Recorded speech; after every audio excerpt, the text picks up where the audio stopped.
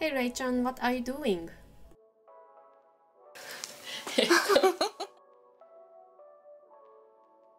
えー、れいちゃんこんにちはこんにちは。着物ってどういう風に作られてるのかなっていうのを、えー、今回は教えていただきたいと思います、はい、私のお仕事。もともとはうん。先に糸を染めて、うん。でその染めた糸で織る、うんうんうん。そして完成。うんっていうのが主流だったのをうん真っ白の糸を織って出来上がった白い布の上に色塗る。っていうのが、うん。まあ、染めで染色？技法としてあったんです。あるんですけど。はい。私が普段やってるのはうん。先に布を白い糸で織ったやつにうん。色をつける。っていう京都でいうと京友禅っていう技術の染色をやっています。はい。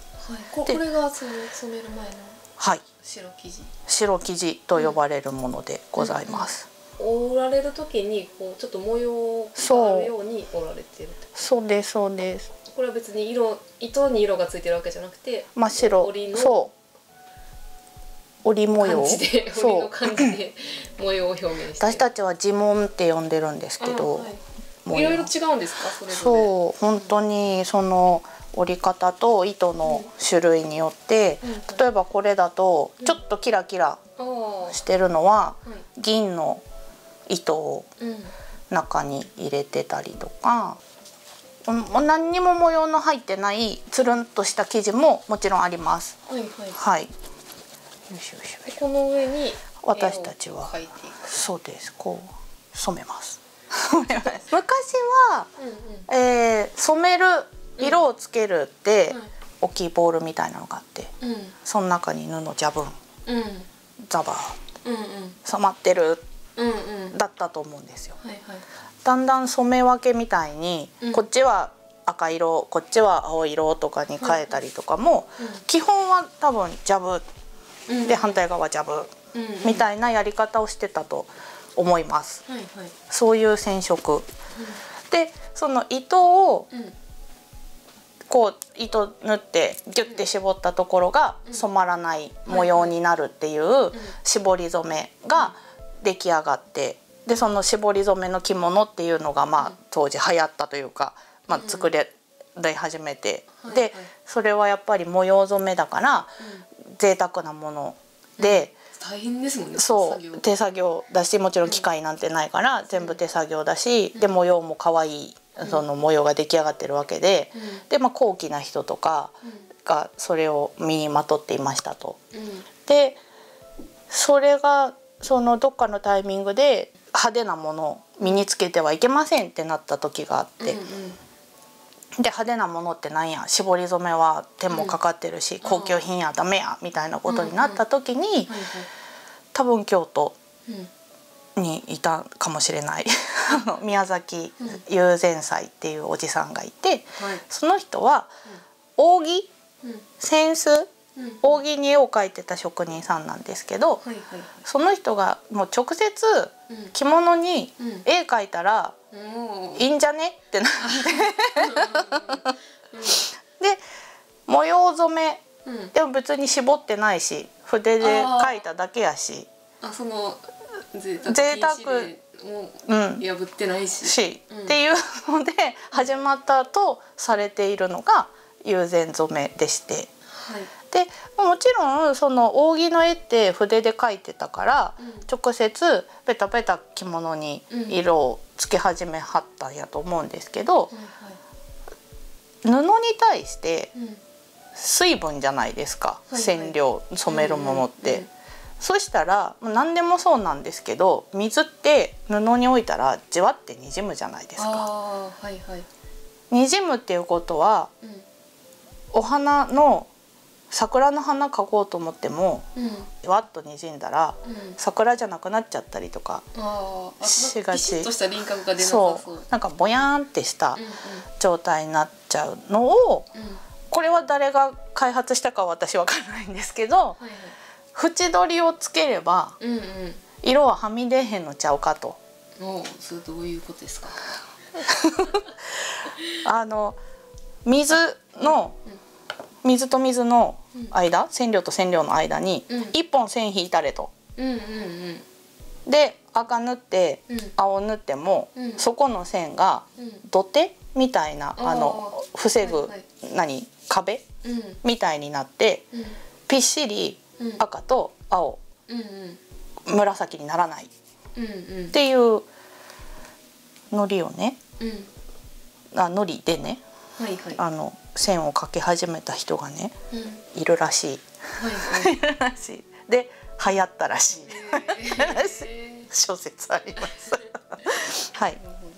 らしいよーっていう話で、はいはい。ごめんなさいね。ですけえどそののりっていうのは、はい。その白い生地の上に、うん、えー、お置くっていうかなんていうのか、筒うん、を使ってこれ見てもらった方がいいかあなこれなんですけあどはいはいはい。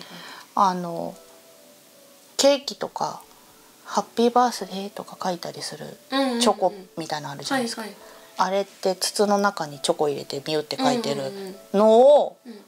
着物っていうか布用にうん。しただけのものですって感じなんですけど筒に口をカチャッとつけてうん。でそこの筒の中に海苔をビョイと入れてうん。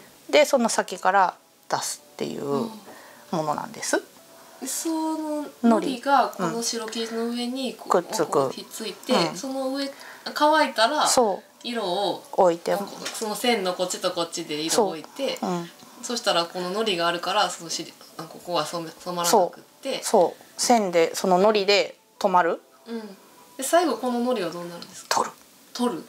あ洗う。洗い流すっていう感じです。じ、うん。そしたら真っ白の線が。そう。生地の線が残って、うんうん。でしっかりそこで色同士が止まってるから、うんうん。混ざったりもせずにあのよよくある友禅染めの華やかな模様がピシッと出るっていう感じですかね。ってことはなんか共有いや友禅染めってすごく華やかではい。細かい模様とかが特徴じゃないですか、それができるのはそののり置くって置いいうてことを誰か昔の人が考えはったからってことですね。そう誰かは分からん。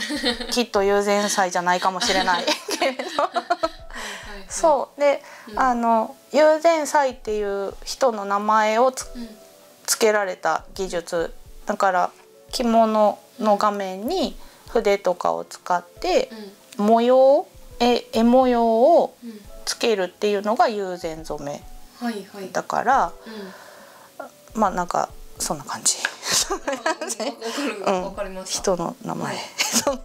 れいちゃんははい。その仕事をされてるってことですよね。してます。はいはい。してます。頑張ってます。でさっき私はもう海苔の話をするとうん。あのワクワクしちゃうんですけど私は実は海苔屋さんと呼ばれるうん。海苔を置くだけの職人として普段お仕事をしています。友禅染めで京都の友禅染めは特に分業制と言われていて。それぞれの技術にうん。それぞれの職人がいるんですよ。はい。だから着物を一つ作るうんえー、糊を置いてで、まあ、色を塗ってとかっうん。ていろんな作業があるんですけど、はいその中のたった一つの部分パートをうん。担当しています。これえーっとねこっち左側がうん。スタートでうん。右側がゴールです。うんうん。私が普段やってるのはここここだけ。それ以外のところは全部別の人がやって一個の着物が出来上がります。でなんならこの人たちはもちろん別のところに住んでいるので大体職人さんってお家でお仕事してる人が多いんですけどはいはい。この人たちのところにうん。その一個のこの反物を持ってうん。回るっていう職業の人もこの辺にいます。それぞれ職人さんがいる。それをまとめてる人っていうのがいるんですか？います。います。そう。その人がはい。だから言ったらプロデューサーみたいな感じ、あはいはいはい。もうこの着物をうん。この模様でうん。こういう色でうん。作るぞっていう人がうんこのこの辺にいはって。でその人がそれぞれの職人さんのところにうん持っていく。っでれいちゃんはこの中で言ったら？こうのり置き。まあまあ早めのところ。割と前の段階。うんうん。はい。具体的にどういうお仕事なんですか？のり置き屋さんのお仕事まあ友禅の流れをざっといこうかなと思うんですけどまずはここ一番最初は企画。うん。うんどんな着物どんな模様うんどんな色を考えはります。うん。でそしたらうん。次にこの生地が出てくるんですけどはいはい。この生地ってうん。折り上がりの状態だとうん。いろんな不純物がうん。生地の中についてたりするのではい。それを一回洗って綺麗に染めやすい染まりやすい生地の状態にして。うんうん。かつあのさっきも言ったんですけど着物ってまっすぐしか着らへんしうん。まっすぐしか縫わへんし、うんうんっていうのでこうぐにゃぐにゃの生地だと良くないあのであはいピシッと。うんうん。く生地そう生地もピシッと整えてやるというかはいはい。なんかこう歪みをうん。直すう工程を入れて初めて下絵屋さんにうんデザイン画を持って行ってはいはい。この生地のサイズの下絵を描いてもらいます。うん。はいで下絵ここれは生地に直接書いてるの？はいこれはね、多分下に紙を置いて写してはるとは思うんですけど、はいはい。このはいはい。青い線が今生地にうん。筆で描いてる線、うん。で下うっすら見えてるのが紙を下からはいはい。当ててる線だと思います。あこれを。あそれでもそこ変えちゃって大丈夫なの？消えるの。ああそうなるの。青花って言って、うん。あのツユクサのうん。葉っぱのはい汁だったと思う。うん。花？いやツユクサのなんか植物由来の 何かそうはそうなんです。い液体で、はいお水につけると消えるんです。うん。うんうんうん。はい。っうんていうもので描きます。はい。模様を写します。うん。写したらうん私のところにやってきて、下絵が描いたものがれいちゃんのところにやってくる。はい。で、のり屋さんが、うん。えーまずは模様のうん。縁取り、うんうん。色と色の隙間にゴムでできたのりではいこれは置いてます。うんはいはい。はい。で、全部の縁取りができました。うん。そしたら伏せのりって言って、はいはい。また違う種類ののりを使って、うん。こっちはベタっとマスキングしてるんですよ。はいはいはい。この2つの作業がのり屋さんは主なお仕事です。はいはい。それをれいちゃんはやってます。で、なぜうん。線描いた後うん。マスキングするかうん。っていうと、うん。着物って模様の部分の色とうん。背景バックの色私たちジーロって言うんですけど、うん。ジーロって染める人違うんですよ。はいはいはいで今の友禅染めのうん。主な主なというかよくやるやり方は、バックを先染める。はいはいはい。でバック染めてから中の模様を染める。うーんなんですね。うんうん。だからここ実はゴム製の糊を使います。うんうんうん線は。うん。うんここもち米でできた糊を使います。うんでゴムは水に強いので、うん。うん水洗いしても落ちないんですよ、いちょっと特殊なお薬を使わないと落ちないうんうんのり、もち米ののりは水で落ちるんですよ。はいはいはい。でここまあ伏せました。うん。で次が引き染めって言って背景はい。を染めます、うん。地色を染めて、うん。地色を一回定着させます。蒸して定着。はいはい。で定着したのをうん。水元って水洗いのことなんですけど、うんうん。水洗いします。うん。するとこれだけ取れるの。はいはいはい。でこっちの線は残るの。はいはいはい。となるとうん後で模様をうん。染めれるの。で背景は色ついてで。はい。でもちろん最後にその模様を染めてる時のゴムの糊も取ってしまいますけど、うん。なんか2段階染めるの。すごい。だから2種類の糊をはい。使ってもちろん1種類だけで仕上げるうんうんパターンもあるんですけどだいたいこれが最近多いです。引き染め地染めこれがバッ、えー背景うん。1人いて、うん。で虫水元うん。出して、うん。で差し友禅が模様色染めなのであーはいはい。一人一人います。じゃあちょっとそこから先はい最後まで、はい。もう一回虫水元行って、うんうん。で水洗いしてはいはい。であの線のゴムの糊を取ってうん。で戻ってきます。そしたら全部が染まってます。でもう一回うん。こんだけ水元って水の中くぐってるんでうん。若干歪み出すんですよね、はいはいはい。もう一回湯のしって言ってととうん。生地を整えて、はいはい。で最後金彩はいはい。刺繍。もうなんかああのー。派手にするというか、んんうんあの共有前といえばお化粧？そう。金友禅って言ったら色がいっぱいあって模様のところで。で金彩屋さんよくお化粧してやるんですって言わはる。おしゃれって思う。んけど言い方おしゃれって思うんですけど。すっぴんでも可愛い人がいてもそう。あでもメイクした方がもっと可愛い。よねっていうその金彩をしてやって。でまあさらに刺繍も入れる時もありますが、まあ私たち染めたりっていうところはもうここぐらいかな、うんうんでおしまい。はい。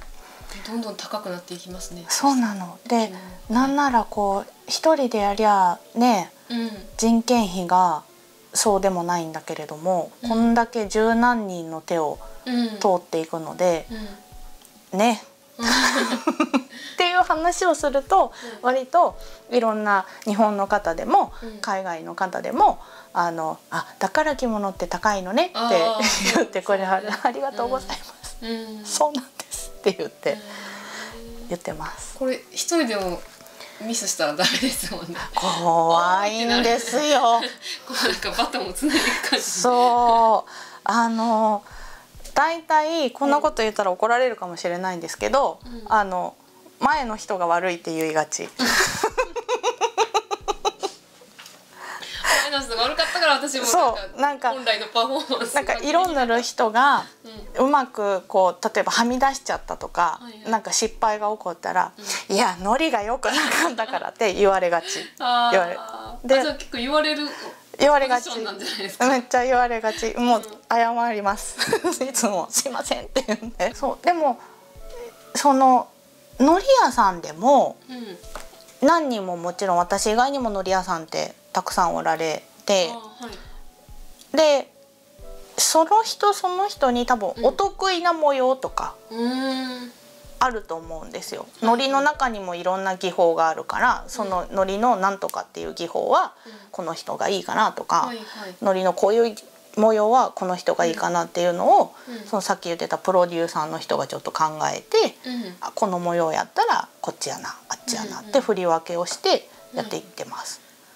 あじゃあこの人ははいいろんな職人を知ってないといけない、そうなんですよ。いろんな人知ってると思こういう こういう柄の時はこの人にう。うん、頼もうとか。とかうんでもちろん速度もうん。人間がやってることだからやっぱりいろんな速度の人がいるからうんで丁寧さとかそれも考えて例えばこんなこと言ったら職人さんに怒られあカットしなくて大丈夫です、うん。あのこんなこと言ったら職人さんに怒られちゃうかもしれないけど早くて安い人もいる。でゆっくりだけど、うん。めっちゃ綺麗な人もいる。うん。でその着物がうん。どういうものかによって持っていくところは変えたりもしてると思う、いもう本当いろんな理由で、やってはると思います。えあのし質問なんですけどどうぞ。あのこうこういうプロデューサーの人がいて、はい。こういういろんなあの職人さんがいるんだったらこの人はこういう大きい会社を作ってそこに全員集めて社員として雇っちゃダメなんですか？そういう会社もあるはずあったと思います。